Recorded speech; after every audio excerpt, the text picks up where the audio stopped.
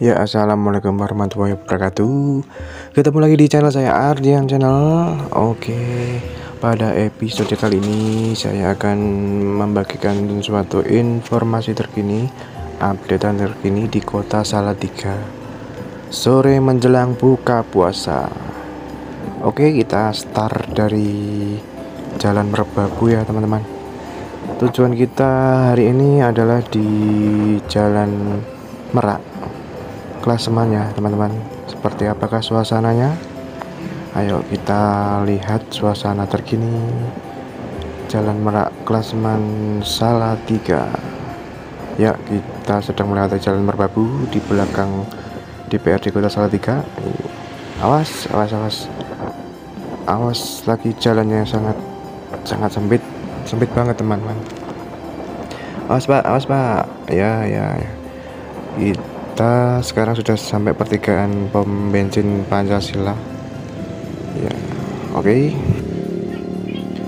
ya video ini saya ambil sekitar pukul 16 lebih 30 waktu Indonesia Barat. Ya kita belok kanan kita arah ke jalan kali nongko ya teman-teman. Oke okay, kita lurus. Suasananya sangat terpantau cukup ramai Ya kita menuju ke Jalan Raya Solo Semarang. Kita ke Jalan Raya. Kita nyabrang. Hati-hati.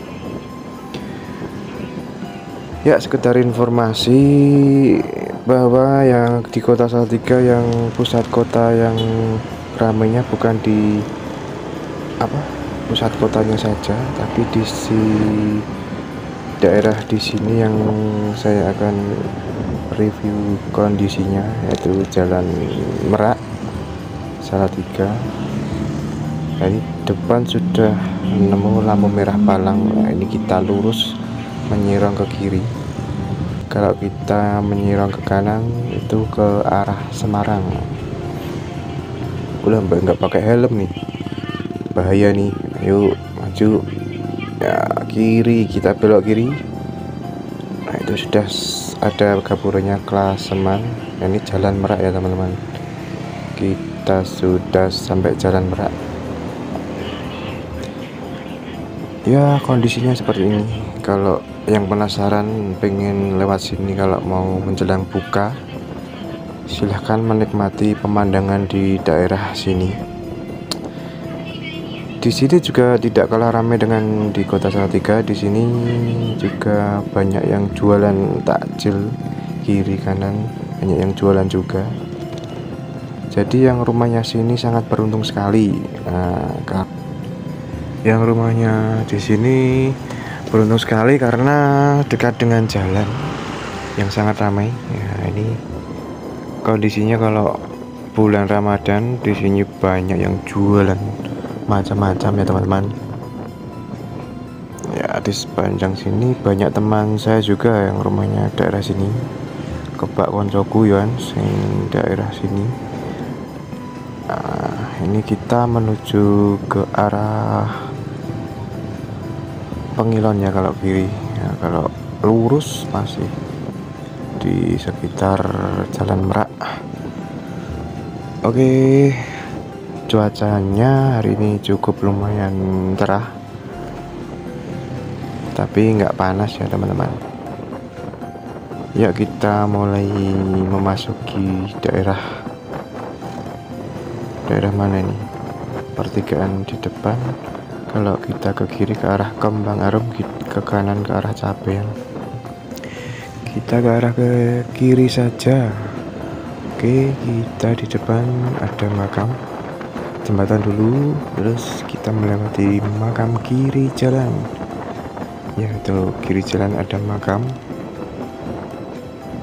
Ya di sini juga ikut kelurahan Sidomukti ya teman-teman. Ya kondisi di sini juga sangat ramai.